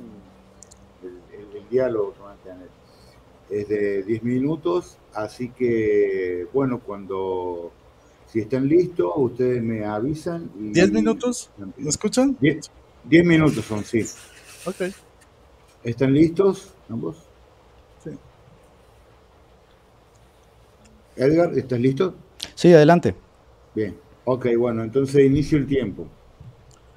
Bueno, hay que, hay que corregir a Edgar Pacheco porque la, filosofía que se utilizó para determinar el dogma de la transubstanciación no es aristotélica, es tomista, en primer lugar. ¿Y Tomás de Aquino, eh, de quién se valió? Por leer mal la pero Respóndame, Tomás, pero Tomás de Aquino, ¿de quién se valió? Bueno, ahí yo le puedo responder, eh, eh, Pablo se valió de Platón, ¿sí o no? La concepción judía del alma y del cuerpo es que es una unidad y Platón, digo, Pablo utilizó a Platón y se puede probar porque él lo dividió en alma, espíritu y cuerpo. ¿Sí o no? usted lo que está diciendo... Usted lo que está diciendo aquí es que Tomás de Aquino el, desarrollo de la teología el desarrollo de la teología de la Eucaristía es de Tomás de Aquino y Tomás de Aquino se partió justamente de Aristóteles. Tomás de Aquino utiliza Aristóteles. Por eso Edward Chivex, que es un erudito católico, afirma que fueron Aristóteles. Pablo también utilizó a Platón para... Sí, pero no estamos hablando de Pablo, estamos hablando aquí de la Eucaristía. Ah, estamos hablando de la Eucaristía y el desarrollo que se dio de la Eucaristía. Tú dices que eso es basado en la filosofía, pero Pablo se basó no, en la filosofía. No, de hecho yo no lo dije. Yo cité a uno de sus eruditos católicos, Edward Schilbeck, en su libro La Eucaristía. Él es el que lo dijo, ¿no? Que los padres del concilio de Trento, mal citado, ¿cree que le ponga aquí la cita? Sí, ponla la cita, pon la cita. Aquí está, se la pongo sin ningún problema. Y si demuestra que está correcta la cita, ¿qué va a hacer? No, muestre la cita, muestre la cita. Ahí se la voy a mostrar, ahí se la voy a mostrar, tranquilo. Tenga paciencia. Si quiere, ponga en pausa el reloj, este moderador. Pues mira que, ¿te acuerdas que yo te dije que si podía compartir material mío? Usted está diciendo que la cita es falsa, yo le voy a mostrar la cita. Ah, bueno, vamos a mirar. Usted fue el que dijo eso, yo no lo dije. Usted dijo que William Webster y no sé qué. tus reglas. Tú dijiste que no compartiéramos nada en el debate. Entonces no quiere que le comparta la cita. En físico, muéstralo en físico, así como yo muestro los libros que estoy leyendo. No, yo leo en físico y leo en, yo leo en ambos, señor. Tengo ahí. No estoy obligado a leer solamente en físico. Ah, bueno, está bien. Bueno, ya nudo entonces. No, ponga, ponga en pausa, por favor, para mostrarle la cita. ¿Y por qué? ¿Y por Porque se te van ir los 10 minutos y no has contestado nada de la transustanciación. Bueno, entonces obviemos esa cita y muéstreme entonces cuál no, es. vamos por partes. Mire, se la muestro. A ver. Se la muestro. Se la muestro, permítame. Vamos a leerla. Pero a leerla, ¿no? Sí, sí, sí, sí. Vamos a leerla. Muy bien. Porque usted se puso a buscar citas de William Wester. Desde ahí las tomaste, ¿yo qué puedo hacer? Ahorita le voy a mostrar que no. Y con esto otra vez a cerrarle la boca. Aquí está. Vamos a ver. Permítame un momento. Aquí está. Me dice si lo alcanza a ver o se lo pongo más grande. ¿eh? Ok. Lea ahí, señor. Grande, por favor. Lea ahí.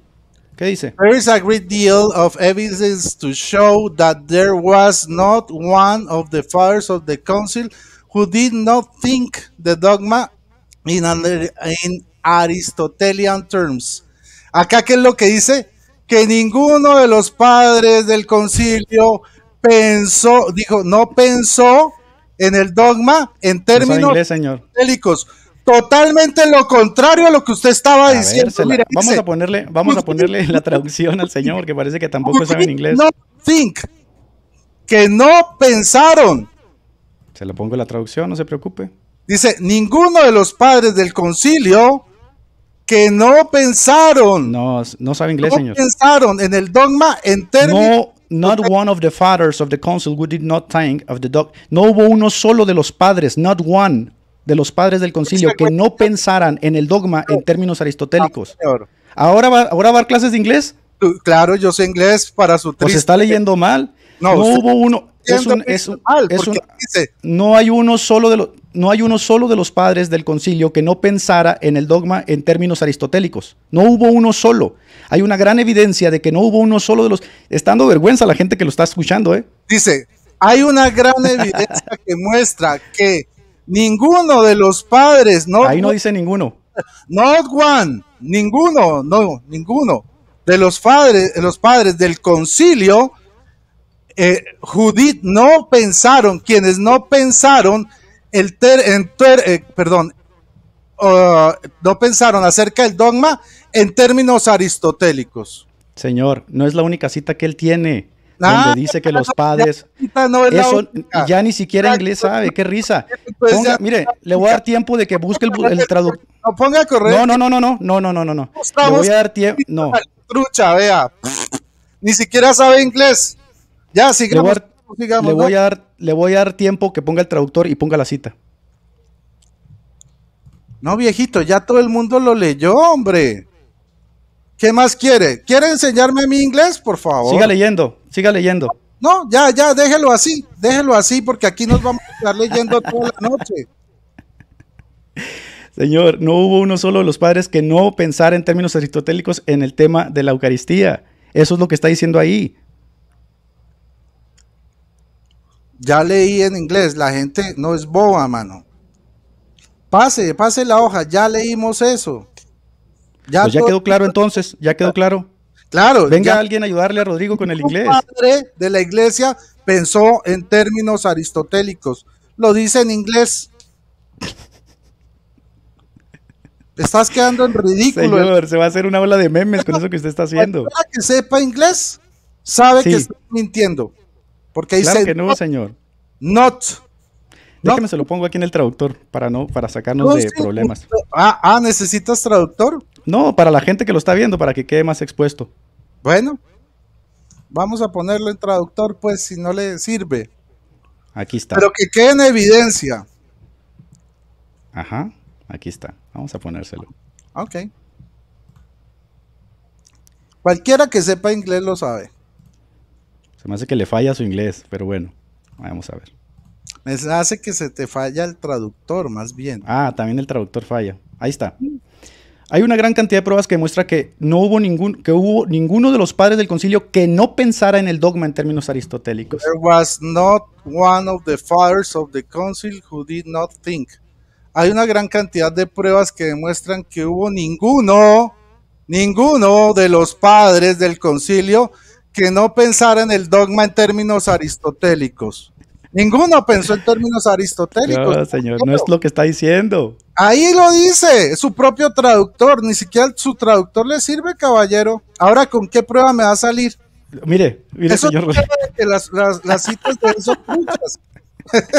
mire, señor Rodrigo. Mire, mire, mire, El mismo traductor lo dejó en evidencia. No, ¿Y lea, eso? lea- ¿Y este, es la- este es el, lea más abajo del, del texto que acaba de leer. There is a a great deal of evidence to show that there was not one of the fathers of the council who did not think of the dogma in Y ya vamos a terms. seguir al siguiente párrafo. Le- no, no, no, no, no. Lea, lea esto, lea esto. Leo porque es lo que sigue el texto. Le voy a mostrar más bien esto, para que la gente sepa cómo usted se comporta. Vea.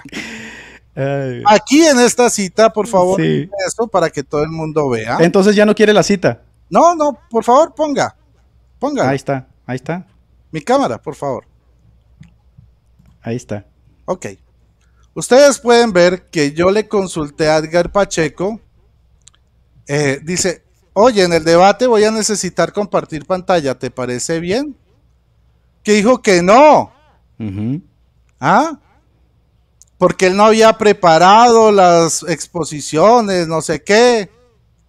¡Ay! Recurso de perdedor. Estás mostrando lo que dice tu público. No, señor, lo que estoy tratando de decir es que usted pidió la cita. Yo no iba a mostrar nada. Usted me exigió la cita. Dijo que la cita era de William Webster. Ahí está la cita. Nada. Que porque eso no lo habíamos acordado. Vea, y como se vio acorralado, y como vimos que la cita no decía lo que decía, se puso a exponer, a mostrar. Él mismo rompe las, las reglas. Oiga, señor. Rodrigo. Vea. Señor Rodrigo.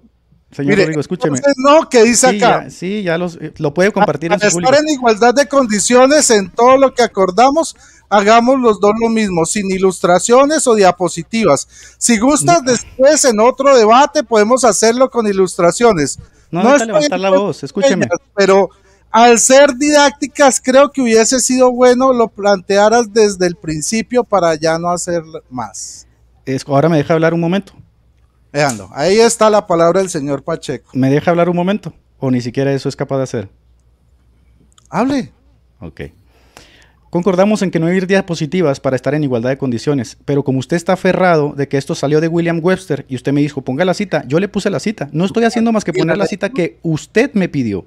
Y la no dije exactamente. Y la vamos a seguir leyendo porque le vamos a, vamos a tener que hacerle otro video de esto de su mal inglés. Y sobre todo el contexto, porque Edward Chiles No, es- la única vez, no es la única vez que habla eso. Edward Chiles habla casi todo su libro de los términos aristotélicos. Pero el asunto aquí es este. Eh, Ahora. yo no puse diapositivas. El asunto es que usted pidió la cita. Usted, quién sé que se fue a analizar a William Webster. En vez de hacer la tarea de la transubstanciación, se fue, Pues se sí. fue a analizar a William Webster. Y ahí está la evidencia, ¿no? Ahí Ya, está la evidencia de que. Vio la es- cita, que ahí, mal.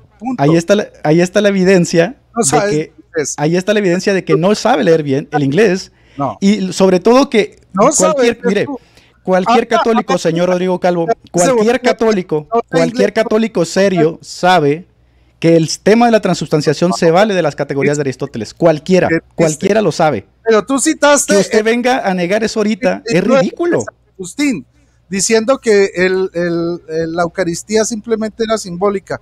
Por favor, muéstrame ahora la cita Ahí de está, San Agustín. ahí está la cita de San Agustín. Ok, Léala.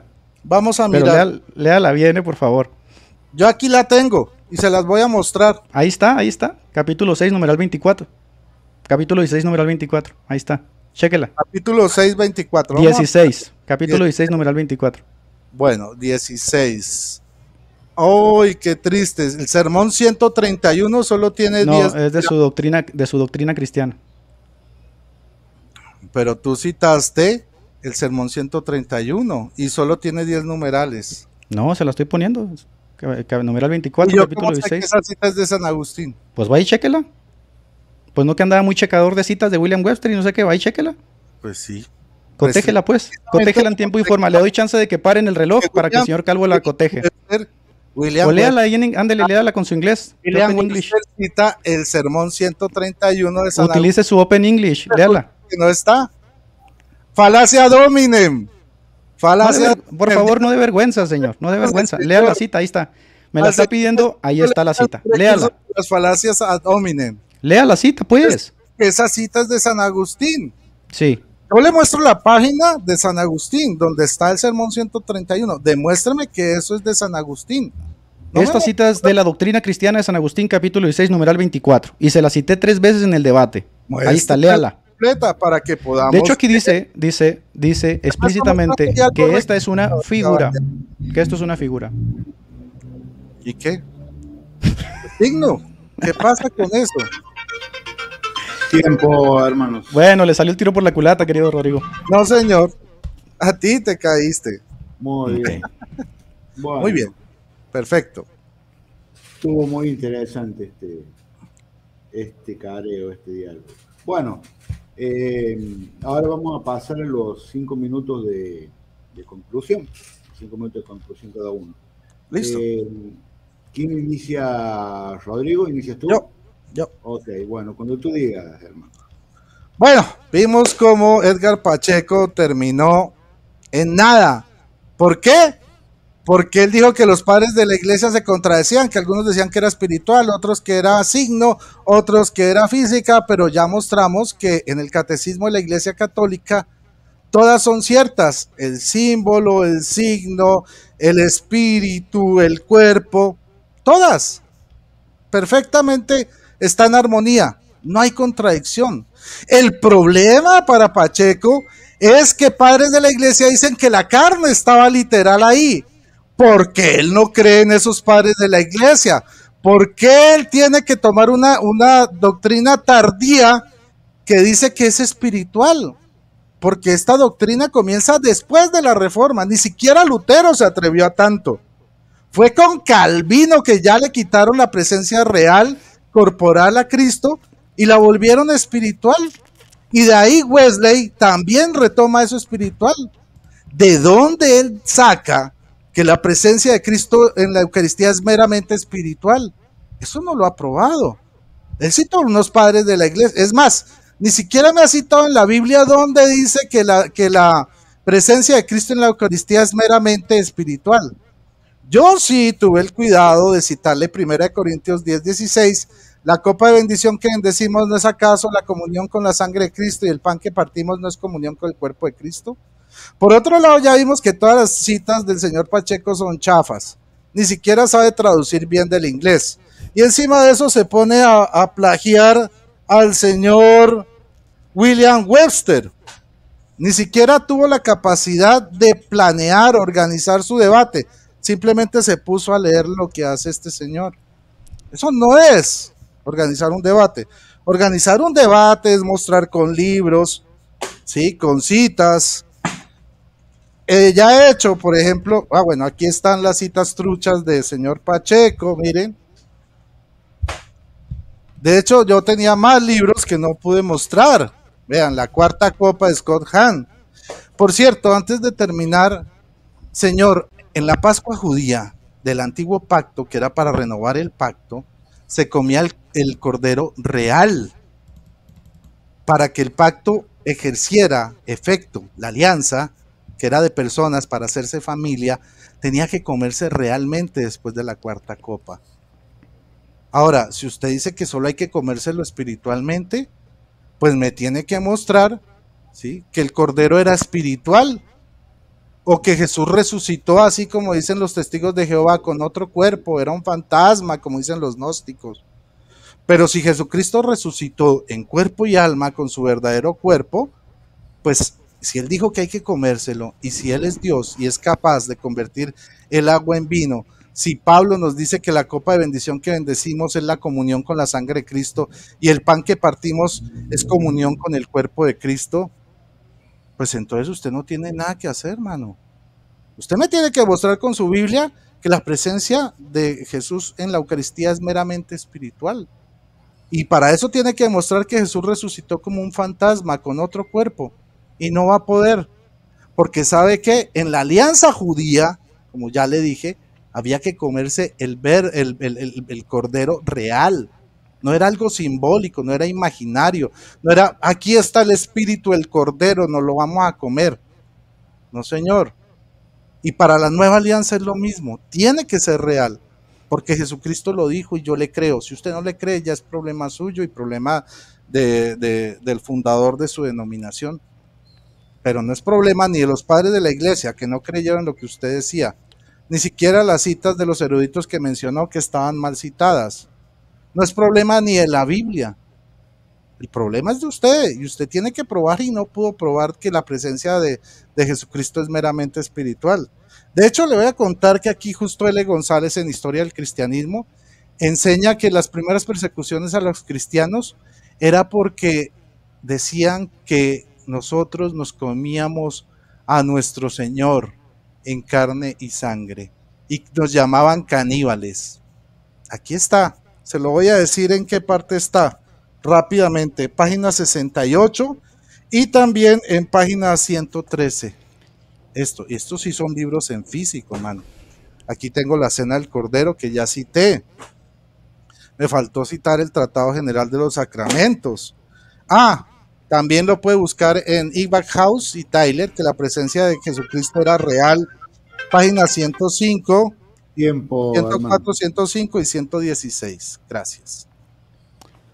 Muy bien, muchas gracias, hermano Rodrigo, eh, por sus cinco minutos de conclusión. Pasamos ahora a los cinco minutos del hermano Edgar. Cuando usted diga. Adelante. Eh, ok, comience entonces. Gracias.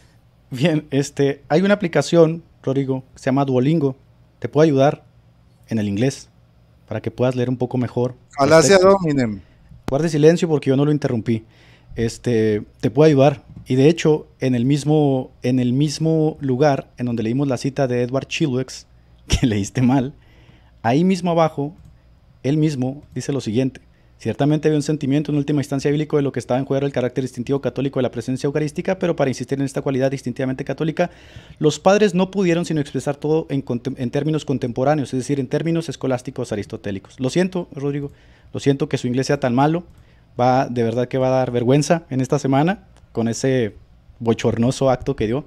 Pero bien, como eh, quiero cerrar esta, este debate, que para mí ha sido muy productivo, para demostrarles que la encuesta de Pio Mali del Pew, eh, Pew Center Research es real. Es decir, los católicos no entienden lo que es la transubstanciación. Y es por eso que 7 de cada 10 católicos no creen la transubstanciación y creen que son símbolos, meros símbolos. Entonces, Rodrigo Calvo acaba de mostrar que él forma parte de esa estadística porque no ha podido dar solo una, un solo argumento. Y cuando lo intentó con las bodas de Caná, le salió terrible y, y, más terrible con ese asunto de la analogía de fútbol. ¿no? Yo he demostrado también aquí que no hubo consenso en los padres de la iglesia en cuanto al término y que las disputas que se dieron en el siglo IX y en el siglo XI se debieron justamente a que no hubo consenso. También demostré en este debate que los textos que comúnmente suelen utilizar los católicos, aunque pueden ser eh, realistas, eso no demerita en nada la, concepción que tenemos los protestantes, pues nosotros tenemos una postura eh, que también puede creer en la presencia real. Ahora, en su última alusión, Rodrigo parece que quiso tomar vuelo, pues ya no le alcanzó el tiempo, lamentablemente, eso hubiera hecho en el principio en vez de hablar tantas bagatelas. El asunto aquí, queridos amigos, es que pues Rodrigo Calvo lamentablemente se suma, se suma a la estadística de católicos que no saben qué es la transubstanciación, no tienen la capacidad intelectual para defender esto y como dice Thomas Rees, el jesuita que escribe justamente en el libro de Pio Mali, esto se debe a que es una visión totalmente desfasada, aristotélica, que Rodrigo Calvo dice que no, que ninguna perdón, perdónenme, que ningún padre de Trento eh, usual Aristóteles, bueno, quedará mostrarle en la semana que pues, su inglés es pésimo y quedará mostrarle también las citas que él dice. Yo, ¿sabe qué es lo que pienso? Que yo creo que algunos garroteros lo, lo invitaron a que checara Webster. Lamentablemente, pues eh, tuve varios libros, cotejé varios libros, señor Rodrigo, y le salió el tiro por la culata.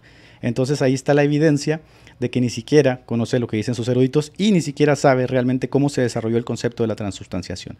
Entonces agradezco mucho a la gente que estuvo conectada, agradezco mucho a todos los seguidores del canal de Suno Hijo Can que estuvieron hoy pendientes, casi 1200 personas, al debate. Creo que eh, ya no hay nada más que agregar, todo está en este debate, todo va a quedar ahí para que los demás lo analicen, para que los demás puedan hacer sus apreciaciones y que puedan sacar sus propias conclusiones. Yo sé que Rodrigo Calvo se va a dar de ganador en su canal, eso es algo que espero, yo no voy a decir nada, porque para mí el debate no es simplemente ganar o perder, para mí el debate es exponer una postura y para mí la altura creo que queda hasta ahí, ¿no? Entonces que la gente saque sus propias conclusiones. De una vez le digo, si usted se quiere declarar ganador, adelante, señor Rodrigo, hágalo, este, profese esa humildad, yo no lo voy a hacer. Y creo que a la gente que va a analizar los debates, porque hay varios canales que van a estar analizando los debates, también les digo que lo hagan con altura, ¿no? Que se centren en los argumentos, que se centren en las citas que tocamos, que las analicen, que las cotejen y que eh, den su veredicto al final, ¿no? Entonces, Muchas gracias a todos los que estuvieron conectados. Por mi parte, pues es todo. Esperemos que vengan más contenidos a Hijo Can. Le agradezco mucho también al hermano moderador que estuvo ahí con nosotros. Gracias por su trabajo, que fue muy atento, muy puntual y muy respetuoso. Y gracias, Rodrigo, también por haber aceptado la invitación. Más allá de nuestras discrepancias, pues te, respeto como persona, eh, eh, te valoro como persona. Y más allá de todo eso, espero que eh, esto quede básicamente como, como lo que es, ¿no? Un debate, un cruce de músculo intelectual y sea respetuoso a las personas. Entonces, gracias, moderador, nuevamente y gracias a la gente. Es todo de mi parte. Gracias. Bueno, gracias, hermano Edgar. Eh, bueno, hasta aquí ha llegado el debate, aquí ha terminado. Este, ha estado muy interesante, muy bueno. Por supuesto, esto aquí no hay, no se trata de ganadores o perdedores, sino que cada uno expone eh, lo que su lo que su doctrina, lo que su iglesia le enseña y el por qué lo creen. Y bueno, y la gente, cada uno sacará sus conclusiones, ¿verdad? Eh, así que bueno, ahora quedan dos minutos de despedida de cada uno, ya no se toca más el tema, así que bueno, le vamos a dar paso eh, al, hermano, al hermano Rodrigo para que se despida. Y bueno, un saludo para toda la gente por, por haber participado, eh, haber estado de manera respetuosa. Y bueno, para los que lo van a ver en diferido también, que, que lo disfruten y saquen sus conclusiones. Adelante, hermano Rodrigo, con, con sus dos minutos de despedida. Bueno, no, muchísimas gracias a Edgar por aceptar este debate. Eh, si quiere lo invito, tenemos uno pendiente sobre la Inmaculada Concepción de María, fue que habíamos planteado inicialmente. Sí, sí, sí. Eh, puede ser. Eh, muchas gracias a todos, a, nuestro moderador que lo hizo de manera impecable. Muchísimas gracias, Marcelo. Arriba el yunque. Y bueno, aquí no hay ganadores ni perdedores. Los únicos que ganan es el público, que va a tener el criterio de sopesar argumentos y sopesar pruebas y ellos deciden. Aquí no podemos decir ganó usted, perdí yo, o perdí, o gané yo y perdió usted, ¿no? El público es el que debe tener el criterio y la sagacidad de sopesar cada una de las cosas que se probaron. No siendo más, muchísimas gracias a todos. Eh, que el Señor les bendiga. Arriba el yunque. María Totustus. Y que viva Cristo Rey. Hasta la vista, babies. Bueno, gracias, hermano Rodrigo. Eh, me voy a despedir. No sé si quieres despedirte tú, o quieres que me despida yo, si quiere, despídase usted, señor este Marcelo. Ok. Bueno, eh, bueno, muchas gracias por, ante nada, por la invitación que para, moderar. Este, es mi segunda moderación, no estoy acostumbrado a esto. Eh, espero haber estado a la altura. Eh, y bueno, me, me, ha gustado mucho participar, escuchando, viendo. Así que, bueno, cada uno sacará sus conclusiones. Yo soy Marcelo Xandaburo, los saludo desde Córdoba, Argentina. Muchas bendiciones para todos, para los que están en vivo y los que lo van a ver en diferido. Y bueno, desde ya, muchísimas gracias y que tengan todos una muy buenas noches. Felicidades para todos. Rodrigo, ¿quieres decir algo? Una cosita pequeña. No olviden darle like al video. Y compartirlo porque compartiendo también están evangelizando. Muchas gracias. Eh, para despedirme nada más a toda la gente del canal de Sony Hokan, que le mando un abrazo fuerte, tengan mis oraciones. Esta semana salgo de viaje nuevamente fuera de la ciudad, voy a estar fuera toda la semana, no voy a estar con ustedes toda la semana. Eh, salgo temprano en la madrugada, tengan mis oraciones por favor, eh, son viajes largos, son viajes cansados. Entonces les mando un abrazo a todos, también a los seguidores católicos que estuvieron atentos al canal, a los seguidores de Roiro Calvo, también les mando un, un, efectuoso saludo. Gracias por haber estado aquí atentos, por comportarse con altura y respeto y por mi parte pues me despido. Muchas gracias moderador nuevamente y eso es todo. Gracias. Gracias.